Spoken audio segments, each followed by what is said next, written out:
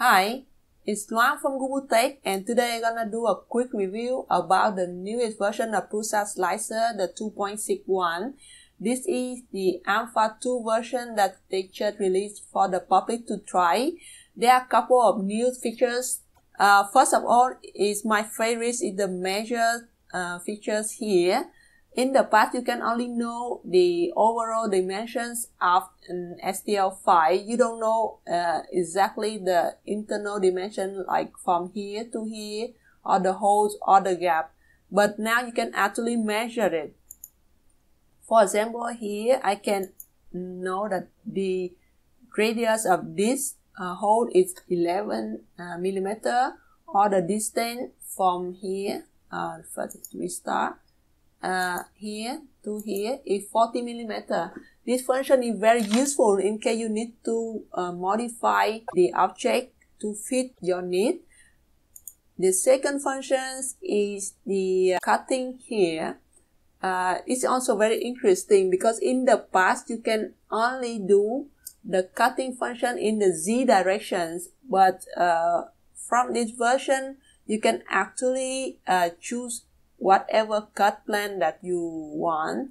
For example, here, instead of Z, I can change it to um, this kind of surface because, um, for example, this one is a, a kind of hook or clip to the table. And as you remember, this is 40 millimeter, but my table is around only 18. So I want to cut 20 away. So we can cut it uh, from here when you move this one, it's gonna tell you the distance, uh, the dimension of the top and the bottom part. Here, uh, let's say I'm gonna cut so that the bottom part is uh, like here, 42. Okay, it's 20. Okay, I keep 20 from the bottom and um, I can perform cut now. So if we want to cut it right now, uh, what happens if we cut it in two parts? But if we want to do assemble them back together, because after we can bring them separately and put them together, you can add a um, connector here. Uh, when you click on add connector, they're gonna ask you what kind of connector that you need. For example, either the block is that they can make kind of one side male and the other side female and they match them together, or you can choose the dowel, dowel style, uh, style, which is uh, they make both of them female and then you can add one dowel for you to uh, attach them together. Let let you can just try both of them here. If I put a one here, um, let me choose the try circle. So when we put them like this, and you confirm the connector, and let's say you perform cut. So now you see um, when you slide, you can see that here is empty. Uh, let me show you. And this part is also empty. They're both hollow and then you're gonna put this dowel pin in here. Um, if you don't like um, this style of dowel, you can also uh, choose another style, like I say, male and female, like we had before. Uh, let me just undo everything and we can perform this again.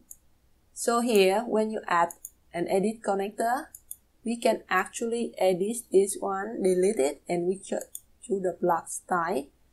Um, here, can choose whatever prints or in circle.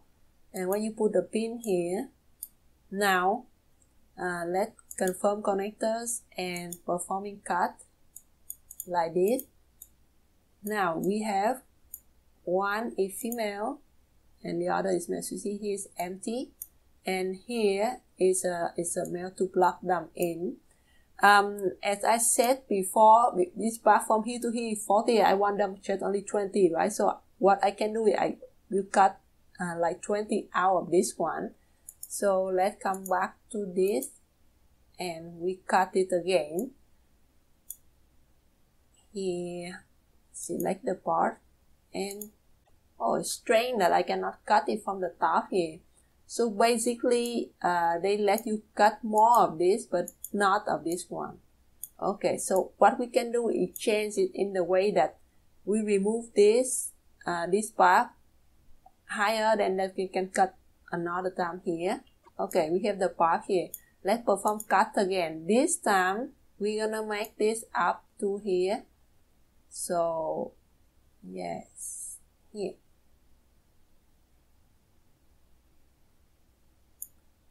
Okay let me perform and I add the connector here. Confirm connector and then performing cut. So this is just example for you to see. It not um, because performing cut like this may not work so well with this this kind of clip. But I just want to show you um, how it is. Okay so when we slide now we have it here. Now let's perform one cut on this part again so that we can cut this piece away. Okay uh, select this part we can perform cut again. Uh, I can choose this to this one. And uh, okay let's cut bottom part. Okay it is almost zero. We're gonna cut kind of 15 out of it. So 15.5 more or less. Um, we can also add connector like we did before. Uh, block right here.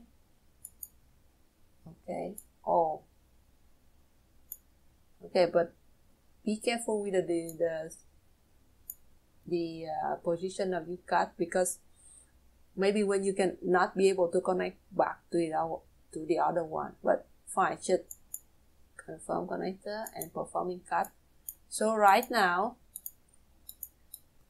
you can kind of uh, delete this object and can put these two together. Okay let me just slide to see how this okay. Okay um, as we say we see that this one doesn't match with this one because uh, I cut it two times right? And every time I check the link uh, let's see if I can adjust this connector dimension also. Here is position is as long as the y and the z. Okay here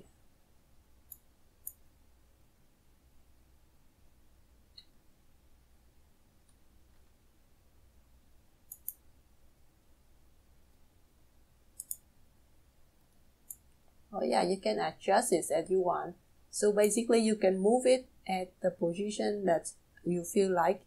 So the connector 2 for example is 15.9 right? So 15.93 you can do it the same like here. With 15.93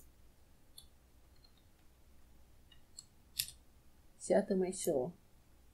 Okay so now you see it at the same height. So basically you can use this um, position of this. You can change it to match them two together. In case you have to cut it two times like I did. Of course if you want to cut it only one time and trim you don't have problem with this one.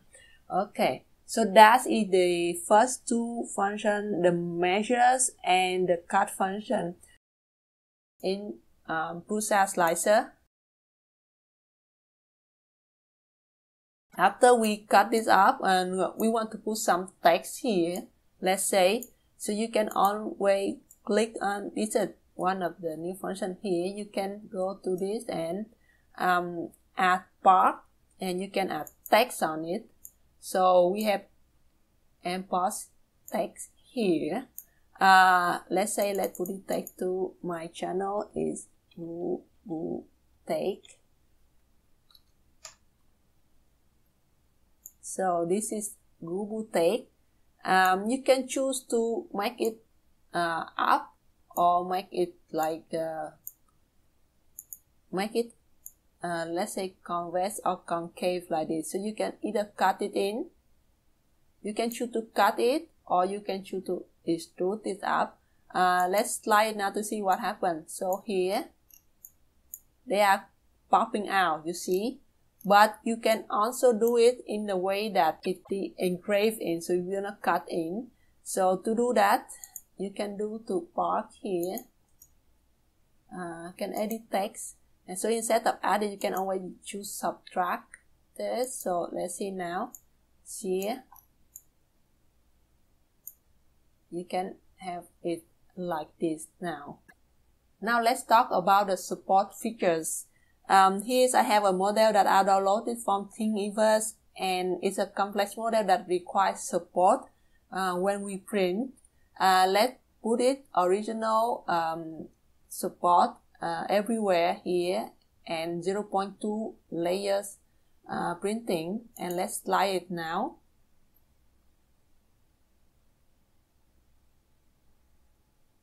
Okay, so this is how the normal support uh, was generated. And it's if you look at this uh, table here you can see that the support material is 27.5% plus support material interface 6.4% so in total around like 30 33% just for the support itself. Let's go to the print setting. Um, the support now uh, it used to have grid and snap support, but now they also have the organic support. Let's change to that and we see what um, it's gonna look like. This is here. Uh, this is kind of like tree support that you ever see in Cura Slicer. Um, with this one, they claim that the support right now is 20.2% so it will reduce from 30, 32% to uh, around 2, 20%. Um, let's look at the same model, but I have in the, uh, the Cura here. So this is with the normal um, support generated. Um, you could see here the uh, the support material is around 28 and the support interface and 1%, so it's 29%. The other is like 32, this is 29. Um, there is um, another thing. If we change it to tree support in Cura and we slice it right now,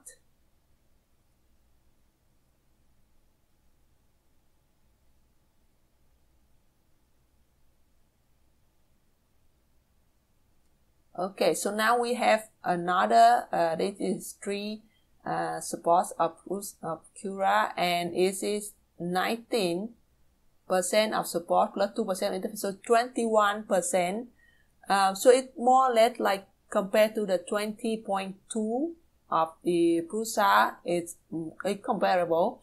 Um, it's just one thing. So if if you use another kind of support in Cura, and use the plugin of custom support uh, cylinder here. I'm gonna put the link up there for you to see uh, how, how I can generate this kind of support. Um, you can check you see that the support is so little and uh, 89%. Um, you can check the link to see how we generate this kind of thing. Here's the whole pictures of what kind of support in Prusa Slicer, Cura, and Cura with uh, custom support. Like you can see the original of Prusa in the grid format is 33.9%. If you choose the snap, you can reduce it to 28%, but the newest version of Prusa, they have this kind of three style organic support and it make it to 20.2%. Uh, white in Cura 2.5.1 the normal support of them is more or less comparable to the snap support of Cura and it's 29%. And when you look at the tree support in Cura, it is 21% compared to 20. So they finally catch up with the, uh, with the tree support in Cura that could have been a that have this kind of tree support. Of course, if you want to optimize your print and saving your material, you can use the Cura's plus the the um, custom support cylinder, um, which is I have in another video. So you can save the material up to 9%. The good thing of um, the new Prusa slicer function is that you don't really need to work much on this thing. Why, uh, to get to this optimal number, I do have spent time to uh, design each of the column uh, myself.